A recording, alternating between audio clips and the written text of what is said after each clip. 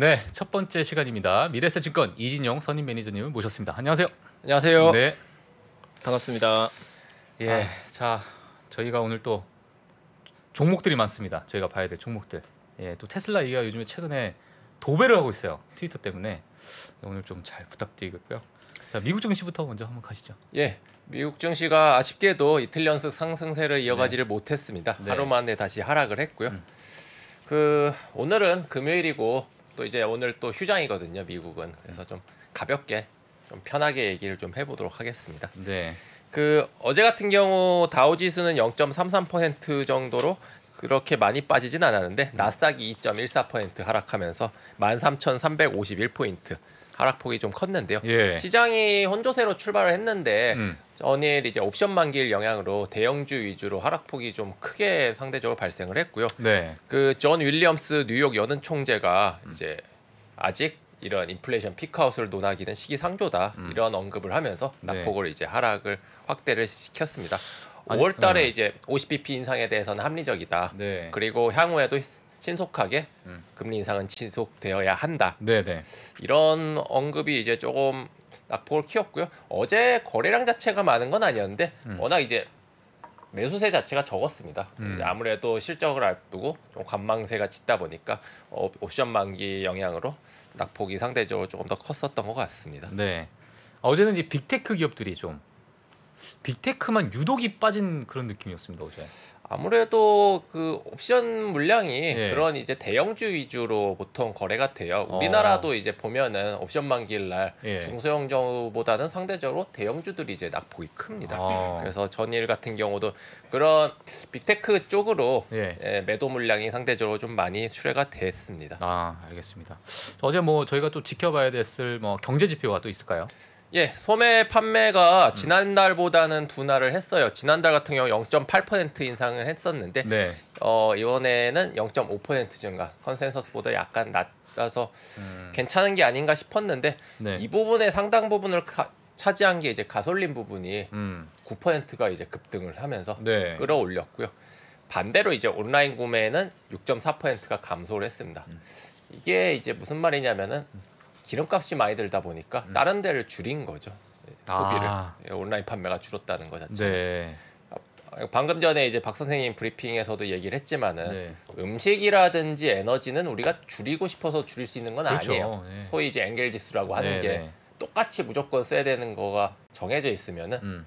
그럼 나머지 부분을 줄여야 되는 거거든요. 우리가 음. 여가 시간에 쓴다던가 그렇죠. 이런 부분을 줄여야 되는 거니까 음. 사실은 굉장히 힘들어지는 부분이죠. 음. 그래서 인플레이션 같은 경우는 좀 잡혀야 되는데 아쉽게도 이 식량 부분 음식료의 가격은 쉽게 지금 떨어질 만한 분위기는 아닌 걸로 계속 감지가 되고 있어요. 네. 이번에 유엔 식량 농업 기구에서 3월 세계 식량 가격이 사상 최고를 기록했다고 했는데 지금 전쟁이 뭐 종전이나 휴전을 한다고 하더라도 여러 가지 공급망 문제나 음. 러시아에 대한 제재 문제 때문에 당장 그런 이제 음식료 가격이 떨어질 것 같지는 않아서 이 부분이 계속해서 인플레이션을 조금 자극을 할 것 같습니다. 아 사실 식량이 제일 걱정입니다 사실. 예. 네. 사실은 뭐 에너지도 에너지지만은 예. 제일 중요한 거는 이제 이게 바로 이제 대체가 될 수가. 없는 부분이니까. 예, 네. 이미 그런 부분 때문에 문제가 발생한 나라들이 뭐 어. 아프리카라든지 예. 개발도상국 쪽에서는 이미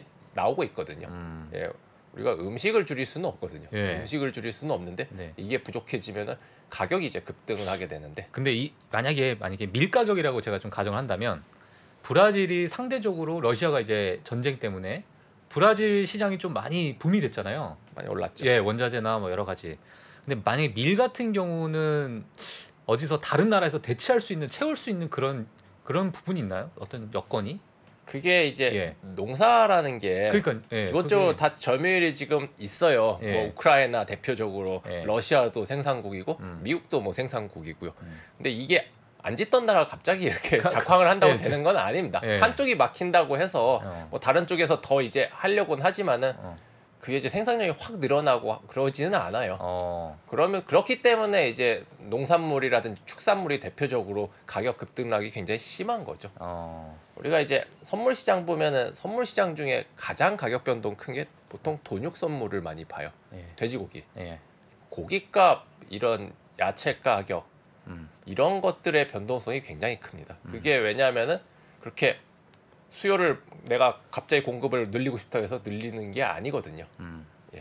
그래서 그 올해 내년에 작황을 어떻게 하겠다 계획을 하면은 그 해에 대해서는 그 전에 계획한 대로 되는 거지. 내가 경작을 하다가 아 좀 늘려야지 하고 더 늘릴 수 있는 부분은 아니니까요. 그러니까 또 제가 잠깐 생각했던 게뭐 원유 재고를 좀 더 푼다든지 아니면 뭐 그런 부분처럼 좀 밀도 뭐 그런 부분이 있을까 조금만 더 풀자.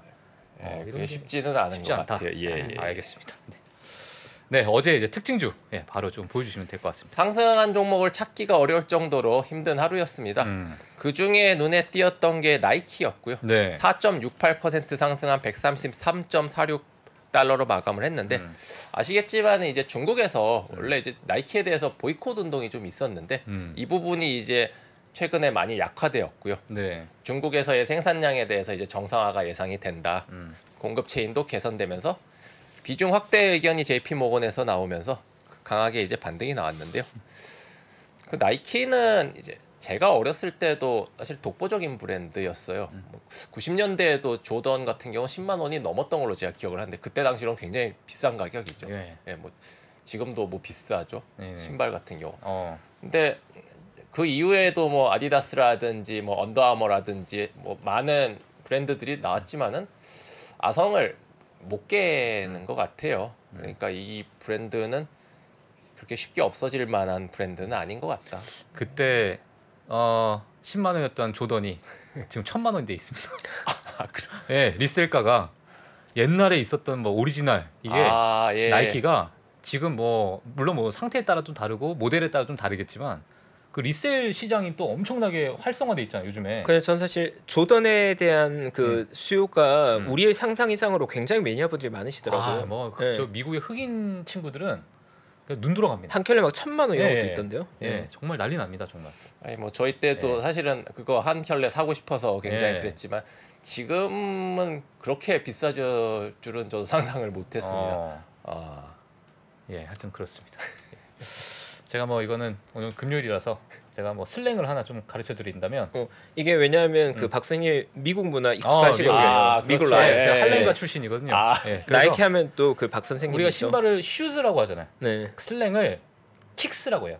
kicks. 어, you have nice kicks 하면 음. 너 되게 좋은 신발 갖고 있다. 아, 어. 이런 뜻입니다. 아, 예, 그게, 슬, 그게 shoes의 어- 약간 비속어. 예, 비속어로 아, 슬랭으로 kicks라고. 그럴 듯하네요.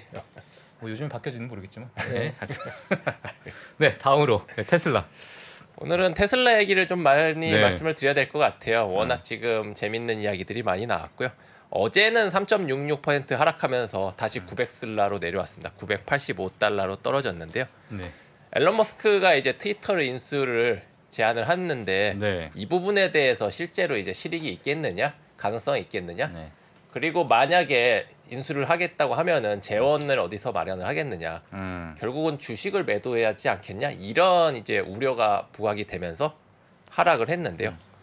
그 주당 54.2달러에 지분 100%를 인수하겠다고 제안을 했는데 네, 우리 돈으로 50조가 넘는 큰 돈이니까 네, 뭐 당연히 이제 부담이 되기는 하고요. 음, 분위기로는 지금 이사회 쪽에서는 음. 이제 이거를 거절할 걸로 지금 예, 저도 나오고 네, 있죠. 네, 예. 뉴스를 봤는데 어떻게 보시나요? 진짜 거절할까요? 거절을 하거나 뭐 승인을 하거나에 따라 음. 에 상관없이 음. 가능성 자체가 낮아 보여요. 아. 예. 실제로 뭐 앨런 머스크 이외에 이 지분을 보유하고 있는 어떤 펀드들이라든지 네. 나머지 지분들에서 이 부분을 합병에 대해서 그렇게 좋게 보는 것 같지는 않습니다. 음. 그래서 거기에 대해 반대 반대 의사를 표현을 할 것 같고요. 네, 예, 이사회 입장에서도 아마 모르겠습니다. 제 생각에는 여전히 가능성은 그렇게 크지는 않다. 음, 크진 않다. 예, 알겠습니다. 그 어제 이제 뭐 테드 인터뷰가 또 있었는데 어, 이게 또 이제 여러 이슈가 됐습니다. 예, 그 중요한 얘기를 많이 했는데 네. 우선 트위터 관련한 얘기부터 말씀을 드리면은 네, 이제 알려진 대로 언론의 자유를 음, 100% 이제 표현할 수 보장하겠다. 있는 예. 플랫폼이 필요하다. 자기는 예, 그래 가지고 개인 회사로 100% 지분을 인수하는 것도 그런 어떤 외부로서 압력이나 이런 것들을 음. 철저히 이제 배제하고 순수하게 토론회장을 만들고 싶다 이런 의미로 이제 표현을 한 거고요. 그렇게 지분을 확보한 다음에는 이제 상장 폐지를 시, 시키겠다. 그러니까 순수하게 이제 개인 회사로 가져가겠다는 거죠. 음. 그 당연히 이제 이거에 대해서는 어떤 공리적인 공공적인 목적이 있는 거지 음. 단순히 이제 영리 추구도 아니다. 본인은 이제 이렇게 표현을 하고 있는데 이제 다른 시각으로는 음. 이거를 인수하는 직자 속셈은 AI의 어떤 발전을 위해서 본인 AI 개발에 어떤 도움이 되기 왜냐하면 언어 음. 데이터가 필요하거든요. 어. 예. 도조. 그죠? 그 AI 휴머노이드 옵티머스라고 아, 옵티머스인가요? 예 아, 예. 죄송, 죄송합니다. 지금 개발 중인 예, 이제 예. 옵티머스의 이제 가장 필요한 데이터가 이제 음. 언어 데이터거든요. 어. 그렇다면 이- 이제 이런 플랫폼이 도움이 될지 않겠느냐 음. 이런 이제 인식이 지금 있는 상황이고요.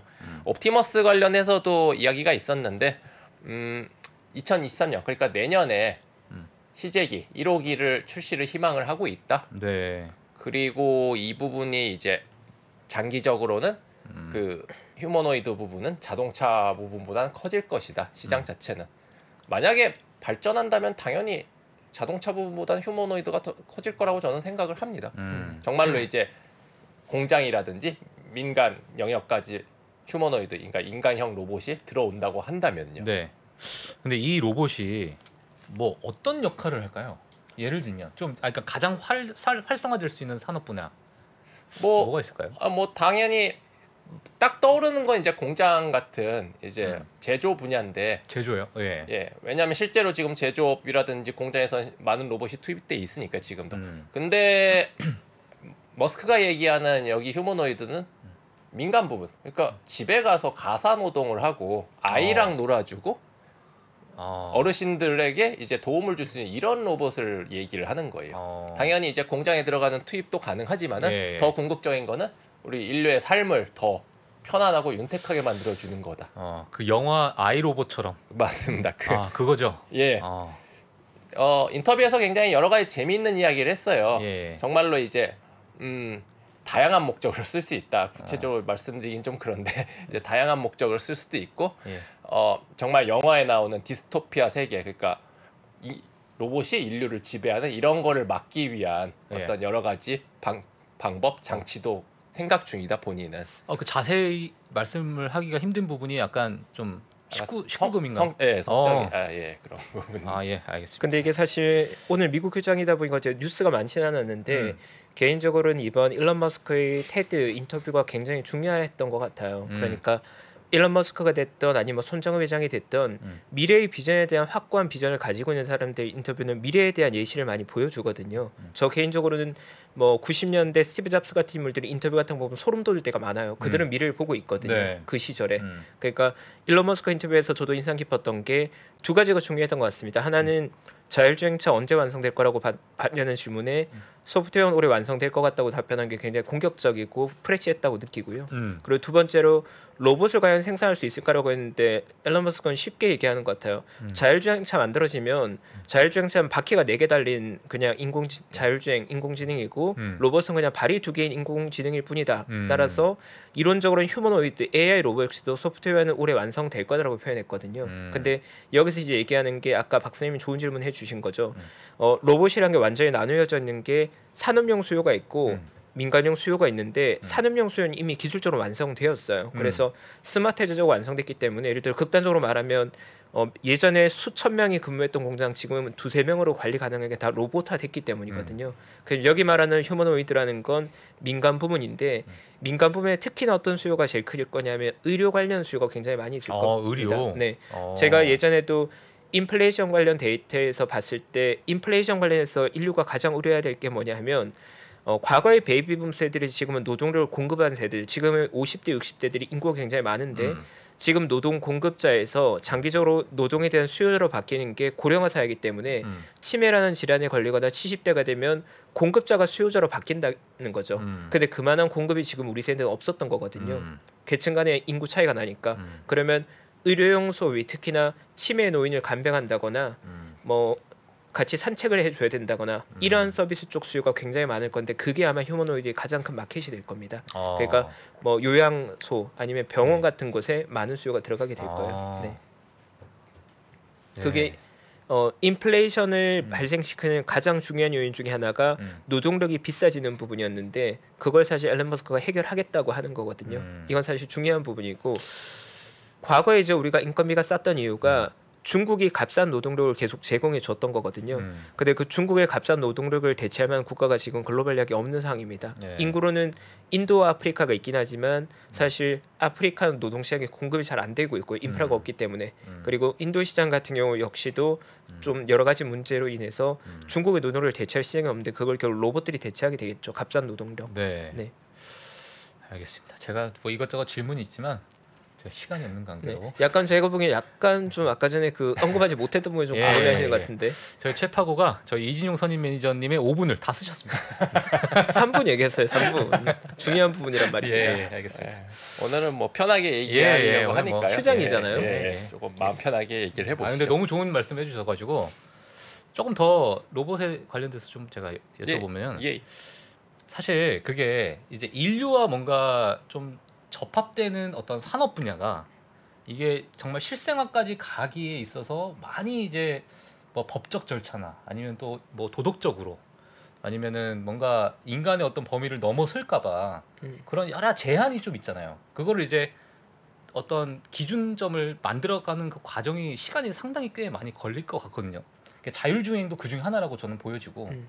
그래서 로봇이 진짜 이게 일상 저희 일상 생활까지 오려면 저는 개인적으로 좀 너무 많은 시간이 필요하지 않을까 음. 이런 생각이 좀 들더라고요. 음. 어떻게 생각하시나요? 근데 우리가 어떤 음. 자율주행차라든지 이런 것도 이 기술이라는 게 이제 어떤 한계점, 음. 예, 그 포인트를 넘어서면은 그 순간 굉장히 빠르게 변화를 해요. 어, 그렇다면은 우리가 지금 뭐 자율주행도 어. 결국은 우리가 이제 원하는 방향으로 예. 인류가 편하게 갈 수 있는 방향으로 바꿔야 되는 거기 때문에 예, 법안 같은 경우도 계속해서 이제 바뀌게 되거든요. 네, 네, 뭐 로봇 같은 경우도 당연히 마찬가지죠. 예, 예전에 일론 머스크가 이제 했던 말들도 음. 과거 한 10년 치를 보면은 음. 뭐 시기가 약간 빠르고 느리고의 차이는 있지만은 꾸준하게 실제로 성실하게 수행을 해왔어요. 음, 뭐 제가 10년 전에 일론 머스크의 어떤 평전도 읽었지만 그때도 화성을 본인은 탐사를 하겠다. 그때만 해도 이게 말이 되나 저는 그런 생각을 했었어요. 2010년도만 음. 네, 하더라도. 근데 실제로 이제 계속해서 네. 단계를 밟고 있지 않습니까? 음. 그러니까 그 부분은 뭐 당연히 이제 차분하게 진행이 될 거라고 생각을 합니다. 네, 알겠습니다. 이건 확실히 이 로봇이란 주제가 나오니까 후끈해지네요. 아. 인공지능, 로봇 예. 이러면 또 못 참죠. 얘기할 게 뭐 많아지죠. 자율주행도 네. 만약에 100번 잘했는데 한 번 사고 나면 큰일 나는 거고 그렇죠. 로봇도 100번 요리를 잘했는데 네. 한번 칼을 떨어뜨렸어. 그럼 이제 큰일 나는 거야. 위험하다고 느낄 위험하다고. 느끼는 거지. 네, 그게 이제 저희가 풀어갈 숙제입니다. 그렇죠. 예, 근데 맞습니다. 늘 기술이 먼저 개발되고 그 다음에 제도가 뒤따라가는 거니까 음. 네, 제도는 또 거기에 맞춰서 지나지 예, 않을까. 알겠습니다. 그리고 이제 중요한 뉴스 중에 하나가 ARKK에서 이번에 테슬라 목표가 제시한 거 굉장히 중요했던 것 같아요. 그거 어떻게 봐야 될까요? 이번에도 굉장히 공격적으로 제시를 했습니다. 음. ARK 인베스트에서 2026년 테슬라 목표가를 4,641달러. 오늘 그러니까 1,000달러가 좀 안 되니까 4,641달러요. 예. 어. 조금 공격적인 케이스하고 방어적인 케이스도 제시를 했는데 평균치로 네. 제시한 게 4,641달러. 어, 5조 달러인데요, 시가총액이. 음. 네. 현재 애플이 2.7초 달러니까 애플의 두 배 정도라고 약 보시면 현재 두. 배라고 보면 되는 음. 거고요. 이것까지는 이것까지는 오케이라고 할 수 있어요. 음. 어, 뭐 26, 오- 26년까지 뭐 다섯 배 갈 수 있지. 네네 갈 수 있죠. 예. 근데 2030년 목표가를 22,500달러. 음. 예. 22,500달러면은 22,500달러. 시가총액이 25조. 25조. 예, 그러면은 8년 뒤죠. 8년 뒤. 약 3경 정도인데 이제 네. 우리 원원으로 예. 이게 이제 과거에 ARK 인베스트에서는 꾸준하게 이제 테슬라의 목표가를 제시를 음. 했었는데 실제로는 다 맞았죠 결과적으로는 음. 이게 2019년에 테슬라가 69달러였는데요 1월에 네. 그때 제시를 했던 목표가가 800달러였고 음. 어, 그 다음에 130달러로 넘어간 두 배가 올랐는데 그때 제시한 건 1,400달러. 음. 그 다음에 2021년 21년에는 주가가 650달러였는데 이때 제시한 게 3,000달러. 음. 예. 계속 올리고 있는데 계속 따라잡고 있습니다. 예. 사실은 ARK가 음. 솔직히 지금 약간 놀림감이거든요. 그러니까 이 캐시오드께서 많이 곤욕을 치르고 예. 있는데 최근에 네, 신뢰감이 많이 떨어졌습니다. 예. 테슬라에 대해서는 상당히 그래도 음. 깊이 있게 예, 리서치를 하고요. 실제로 이 정도로 정교하게 분석을 하는 업체가 없을 정도로 예. 테슬라에 대해서는 상당히 좀 신뢰감을 주고 어. 있습니다. 다른 기업은 왜 분석을 안 할까요? 안 하는 거는 예, 아니고요. 예.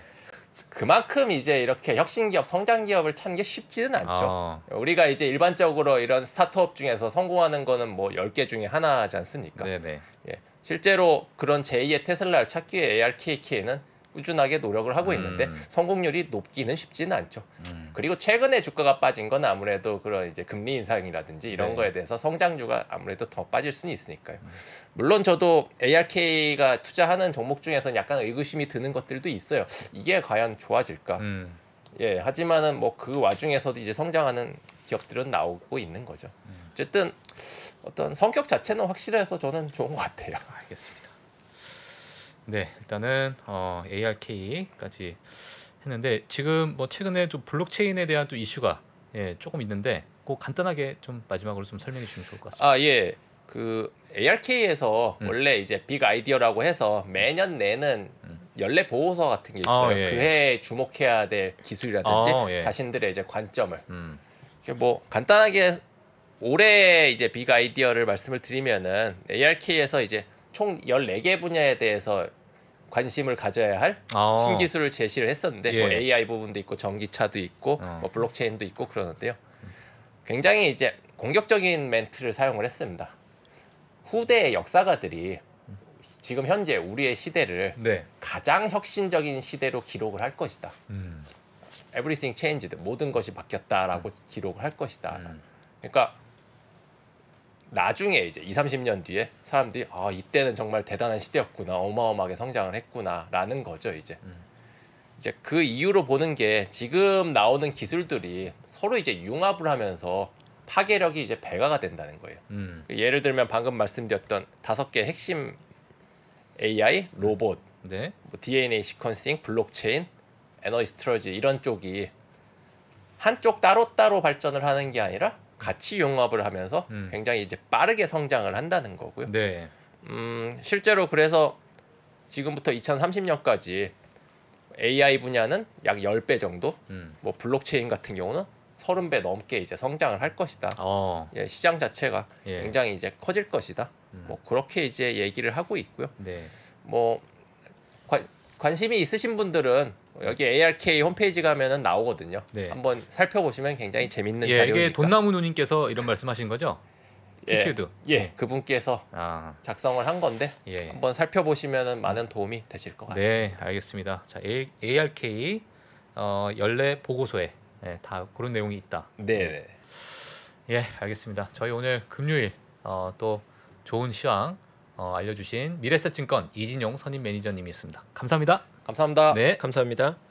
어, 어제 미국 시장 좀 안 좋게 끝났고 오늘 휴장이다 보니까 뭐 임팩트 뉴스가 많지는 않았던 것 음. 같은데 그래도 앨런 머스크의 테드 강연 정도는 투자자라면 꼭 한번 볼 필요는 있는 것 같습니다. 음. 사실 어, 지난 50년간의 미국 시장의 트렌드를 보면 결국 스티브 잡스나 뭐 그 마이크로소프트 창업자인 빌 게이츠나 뭐 손정의 회장이나 앨런 머스크 같은 비전을 가지고 있는 인물들이 많은 미래가 결국 트렌드가 됐거든요. 근데 그러한 면에서는 미래에 대한 힌트가 굉장히 많이 나오지 않았나 그 부분을 조금 스터디한다면 투자에 있어서 가이드 될 만한 거 많이 있을 것 같고요. 저희 34분 되었고 빠르게 광고 보고 와서 2부 이어가겠습니다. 김한진, 박세희, 김동환 이 세 명의 투자 경력은 도합 100년입니다. 갈피를 못 잡으시는 투자자들을 위해서 어려운 시장에서 살아남아 본 경험이 있는 전문가 3명의 이야기를 꼭꼭 눌러 담았습니다. 이 3명은 어떻게 시대 변화에 적응했고 생존할 수 있었을까요? 각자의 경험담과 대응 원칙 그리고 방법론을 담았습니다. 변화와 생존에서 3명의 이야기를 들어보세요.